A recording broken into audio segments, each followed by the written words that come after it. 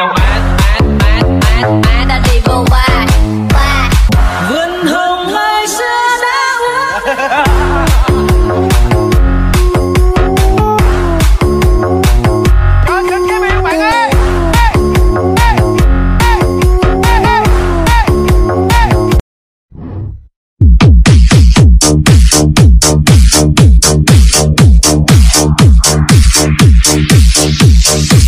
Thank you.